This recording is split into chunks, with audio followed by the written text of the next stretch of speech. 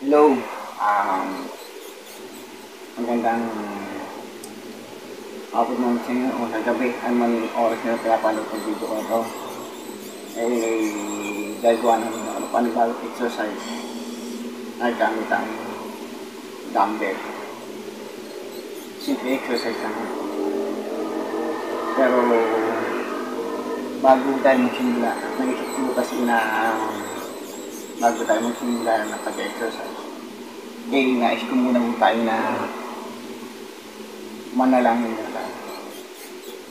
Para nga sa ganun, mag, mag malayo tayo sa mga sakuna, sa mga sakit at karami. At lalo naman dun sa sakit na kumakalat ngayon sa na, ano, coronavirus. Kaya, simulan na muna ako. Lord, maraming maraming po salamat Lord sa lahat Lord ng mga nanonood sa susunod kay Lord sa channel ko Panginoon. Patuloy mo sila Lord pagpalain, patuloy mo sila ingatan Panginoon. Ang dalangin ko po Lord na ikaw Panginoon na mag-ingat sa kanila Panginoon. Hindi mo kilala sila Panginoon lahat Panginoon. Kayo Lord na nakakapatid at kayo nakakilala sa kanila Panginoon. Ang dalangin ko Panginoon, Panginoon patuloy mo sila. Ang pagpalain ilayin mo sila Lord sa sakit at Panginoon. Isuplay mo Panginoon ang kanilang pangangailangan Panginoon.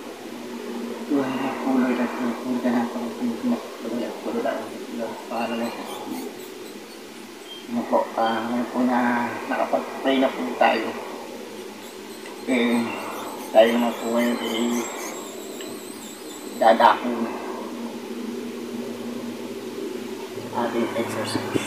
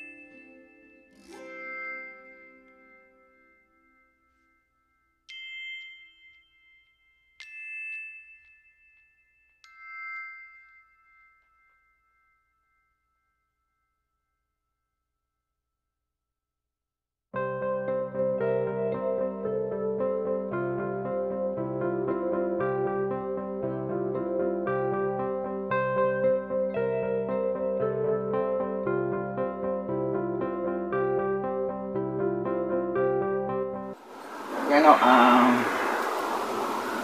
yung mga exercise na simple lang. Kung hindi ka pa nakakapag subscribe sa aking YouTube channel, mag-subscribe ka na. Nang maging nang sa ganun eh, maging ano ka sa mga video na ilalabas ko pa. Tandaan natin, pag malakas ang ating pagkatawan, malayo tayo sa sakit at karamdaman. Malayo tayo sa sakit at karamdaman pag malakas ang ating mga pangangatawan. Kaya, lagi natin tatandaan. Meron pa akong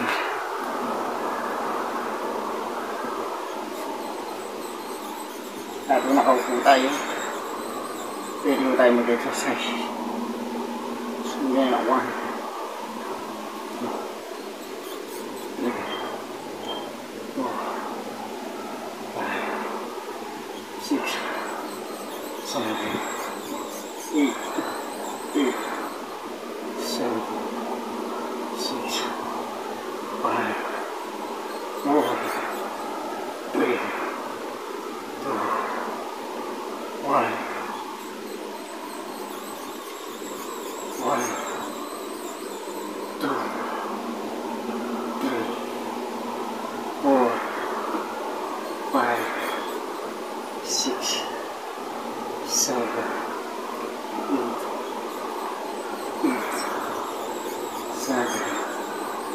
Six.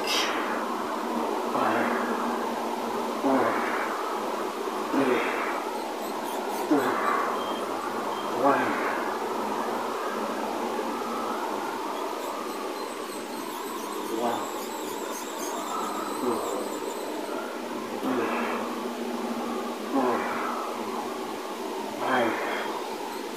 Six. Seven. Eight. Eight. Seven. Six. Five.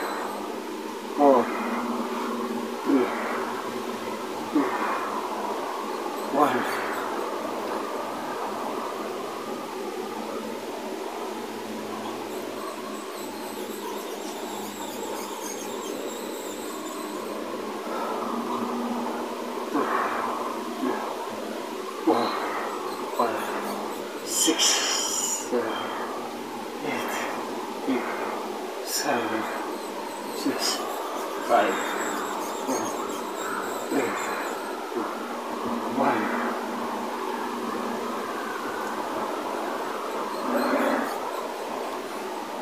Yan po, um, hanggang dito lalak po muna aking video. Dahil doon natin tatandaan ano man ho pagsulot na dumaan sa ating buhay. Kaya ho natin. Mag-pray lang tayo.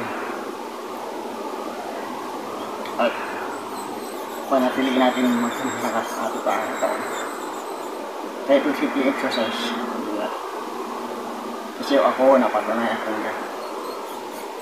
Dati ho, payat na payat ako. Ngayon ho, kahit pa paano nagkakalam na. Kaya, purihin ang ating Panginoon. God bless. Bye.